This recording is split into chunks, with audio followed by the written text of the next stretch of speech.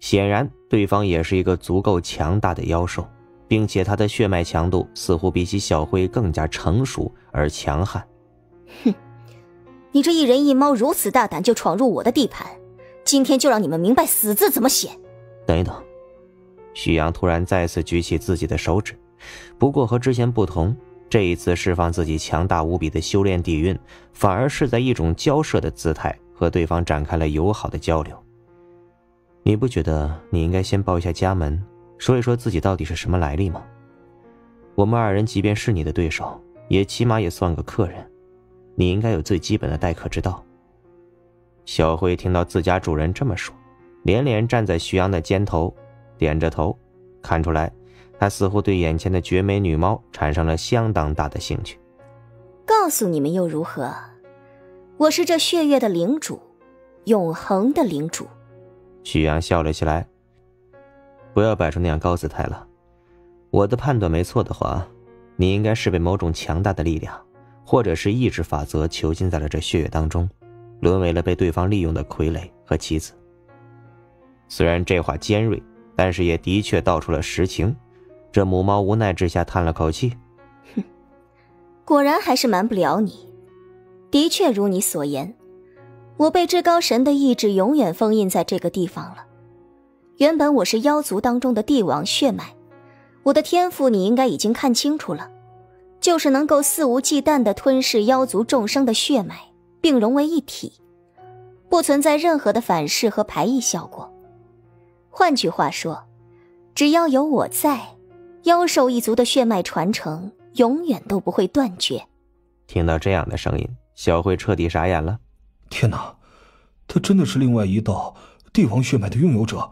主人，你真的是神机妙算，小辉我算是对你佩服的五体投地了。小辉过分的吹捧，似乎反而引起了眼前这个同为帝王血脉的母猫的嫌弃。对方一脸鄙夷的哼了一声，白了小辉一眼。身为同样帝王血脉的猫族成员，居然会对一个人族这般卑躬屈膝、摇尾乞怜，你真拿他当成你的主人是吗？我们身为妖兽一族的帝王血脉，永远也不会对人族低头的。小慧无奈的摇头：“你不明白，虚阳是我的主人，和其他那些人族不同，他并不属于我们这个年代。他的存在就是真正意义上的神，没有人也没有办法取代他的地位。不管你怎么说，虚阳永远都是我主人。”徐阳宠溺的摸了摸小慧的头：“放心吧，小家伙，只要你看上了这只母猫，不管我用怎样的手段。”都会把他抓过来跟你当老婆的。果不其然，小慧这一波跪舔的确还是达到了自己的目的，嘿嘿笑了起来，不断用舌头舔着徐阳的面颊，弄得这徐阳老大也是一脸无奈。出现这样的表情还是相当难得的，不得不承认，在强大的大佬内心心中也有属于自己的一块柔软的部位。唯一美中不足的是，这小慧是一只公猫，如果双方这两只猫的性别调换一下。徐阳恐怕会毫不犹豫地抹杀眼前这另外一只帝王血脉，让自己怀中的小母猫成为世间独一无二的妖兽之王。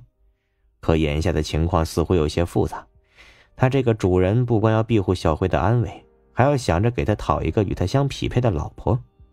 至于眼前的这只母猫，看起来总归有些凶神恶煞，没那么好征服。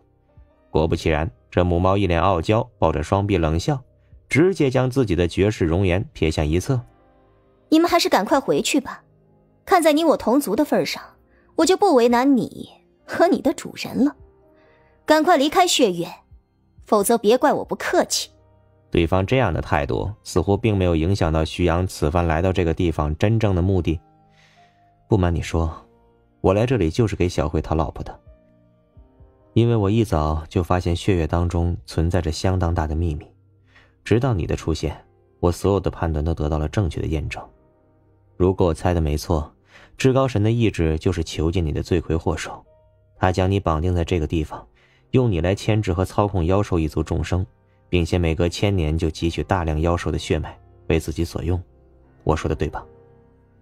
果然，这母猫对徐阳惊世骇俗的判断力彻底臣服了，一时间也被他说的哑口无言，只能默默的点了点头。可是这又有什么办法呢？至高神的意志乃是如今昆仑神道最强大的力量，只要他一句话，昆仑神道内孕育出来的所有生命都会在顷刻之间灰飞烟灭，没有任何力量能与之抗衡。即便必须要承认你这个人族实力实在强大，但是，在至高神那几乎主宰一切的力量面前，任何反抗者都会变得脆弱不堪。许阳哼笑了一声：“哼，现在说这话，对我的实力做出判断，未免为时尚早。”如果你真的相信我们的话，立刻带我前往封印本体的位置，我来观察一下，想想办法，看看有没有其他的途径能够帮助你脱离被封印的状态。原本这母猫本能是打算拒绝的，因为它很清楚囚禁自己肉身的地方，拥有至高神意志所在，稍有不慎，一旦惊动了至高神的意志，后果不堪设想，很可能会给妖兽众生带来提前降临的一场灾难。甚至连他自己的本体都可能遭遇到惩戒力量的制裁。当然，不知为何，当他对视上徐阳那一双仿佛能够洞穿一切的目光的时候，母猫终于还是本能的选择了相信徐阳，默默的转过身为这一人一猫带路。很快，一人两猫的阵容便出现在了那满是血色光芒最为浓郁的城堡的尽头。徐阳很快便看到那尽头之上。有成百上千道法则的链条绑定在一起的母猫的本体外围，那一层有形无实的虚空气息，便是至高神也是意志的封印所在。也就是说，只要外部力量足够强大，打在其上面，至高神的意志就会立刻觉醒，并且对这里的一切视野有所把握。许阳轻轻点了点头，摸了摸自己的下巴，陷入了思考的状态。怎么样？我早就说过，你们一人一猫两个外来者根本就不应该来到这儿，没有任何人能改变我的命运。许阳笑了起来，那你就错了。你以为我束手无策、毫无办法吗？我是在思考，到底该用怎样的方式能够帮助你脱离被封印的厄运。